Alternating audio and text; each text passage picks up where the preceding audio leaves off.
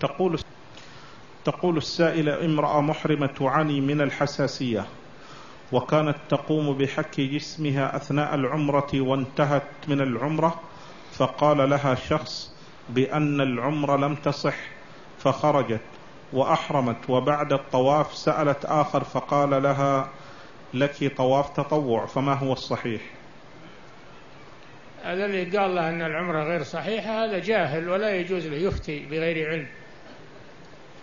ما يجوز للإنسان يفتي بغير علم وكان على على السائلة أنها تسأل أهل العلم ما تسأل الجهال.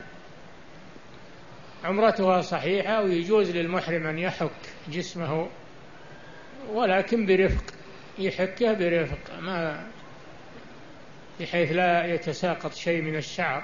وإن سقط شيء من غير قصد فليس فيه شيء.